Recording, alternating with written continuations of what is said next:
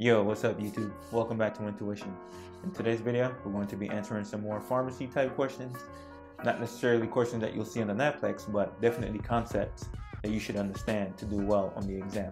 So today we're going to be answering a mixture of questions that deal with heart failure, cardiac output, and bleeding risk. So let's dive into it. Question number one says, cardiac output is calculated by dividing arterial pressure by total peripheral resistance.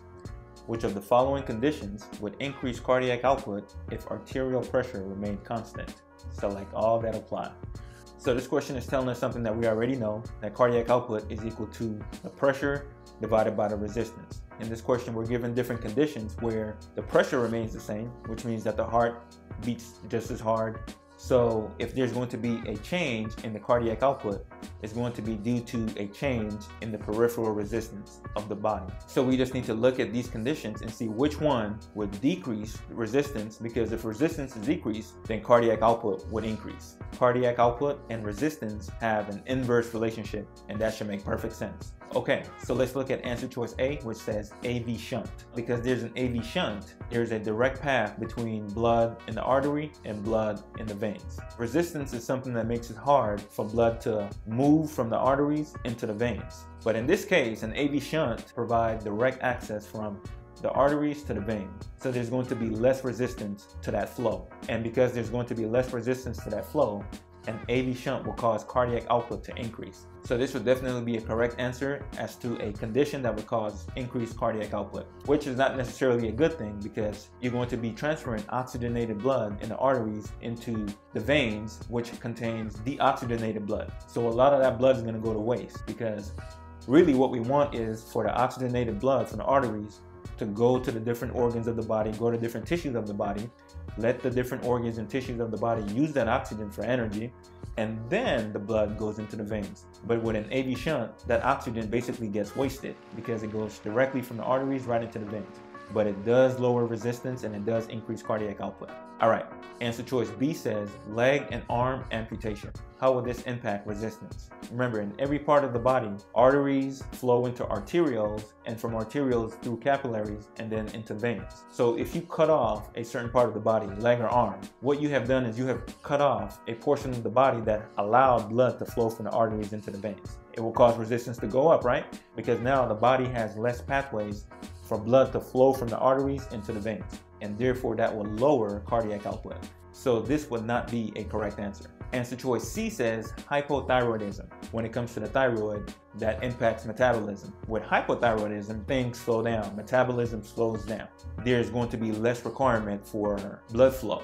Instead of having the arteries expand and allow more blood flow, the arteries are going to constrict and cause less blood to flow. So there's going to be more peripheral resistance with hypothyroidism. So this would also lead to lower cardiac output and not be a correct answer. All right, and lastly, we have anemia. So how would anemia impact resistance? Well, think about what resistance is. Resistance is caused by friction between the blood and the arteries, right? That is what causes resistance to blood flow. If you have anemia, that means that you have less red blood cells, which means that you have less particles in the blood to create friction with the arteries. And if you have less blood in your body that can flow, then you have less resistance because the resistance comes from the blood and the arteries. So if there's less blood, then there's less resistance. And therefore, cardiac output would increase in anemia. And this will be another correct answer. All right, so the correct answers are AV shunt, and anemia. All right, let's go on to question number two. Okay, question number two says, which of the following heart failure treatments, in this case is HFrEF, are likely to reduce morbidity and mortality in such patients? Select all that apply. Another select all that apply question, but we're not afraid, right? Because we know how to think these problems through. So here we're talking about patients with HFrEF, which is heart failure with reduced ejection fraction, which means that the heart can only pump about 44% of the total blood that's coming to it from the veins. And here we're being asked to select the medications that will cause the patients to live longer. And there are two ways to go about these types of problems. You can memorize the guideline, and that's fine. That's what most pharmacy students do. But here on Intuition, we don't operate like that, right? We focus on understanding why things are the way they are. We're going to use logical reasoning to arrive at the right answer. When it comes to mortality and living longer, every mammal is allotted a certain number of heartbeats in a lifetime. on average. And human beings on average, I think we're allotted about what, 3 billion heartbeats in a lifetime? Now, what determines whether or not you're going to live long or live a short life, assuming that nothing else goes wrong with your body, is going to be whether or not your body is able to sustain strong and healthy heartbeats. So for example, people with high blood pressure are not going to live as long as people with low blood pressure because because even though their body and their heart might be programmed to be able to beat the same amount of heartbeats, the person with high blood pressure is going to end up having less heartbeats in a lifetime because their heart is pumping against very high resistance. Right off the bat, that tells you that blood pressure medication are going to be good candidates for decreasing mortality in these types of patients. And in this question here, we have two blood pressure medications. We have the ACE inhibitors and we have the loop diuretics. What's going to be correct is the ACE inhibitors and not the loop diuretic. Now, why is that? I mean, both of those medications decrease blood pressure. Loop diuretics, they decrease blood pressure, but they decrease blood pressure by simply eliminating volume from the arteries. And because your veins and your arteries are going to contain less fluid, the pressure is going to go down. That's only going to control symptoms by helping to get rid of congestion within the patient. However, on the other hand, ACE inhibitors decrease heart remodeling. And what that means is that as the heart gets weak, the heart is falling apart, but it's not able to effectively regenerate itself. And whenever it tries to regenerate itself, it does it in a poor fashion and the heart gets weaker and weaker. But ACE inhibitors have shown to lower the rate of remodeling. So the heart is able to better maintain a decent structure over a longer period of time. And remember, it is the heart that's going to determine how long you can live because it is the heart that's pumping the blood. So ACE inhibitors are going to decrease mortality, but loop diuretics are only going to control symptoms. Okay, and another answer choice we have is NSAIDs. This one you should know right off the bat that NSAIDs are terrible for heart failure these medications are going to worsen heart failure and not improve heart failure. So NSAIDs will be incorrect and we're left with beta blockers and beta blockers is going to be a correct answer because beta blockers slow down the heart rate which allows the heart to beat slower and with a smoother rhythm which allows the heart to function over a longer period of time and therefore beta blockers are definitely going to help to decrease mortality in heart failure patients. So the correct answers are going to be beta blockers and ACE inhibitors. All right, let's go on to question number three. Okay, question number three says, which of the following factors are associated with increased bleeding risk? So like all that apply. There are different factors that can increase a patient's likelihood of bleeding, right? So let's go ahead and look at the answer choices. Answer choice A says large APTT. APTT is activated partial thromboplastin time. It measures the time that it takes for a certain volume of blood to clot.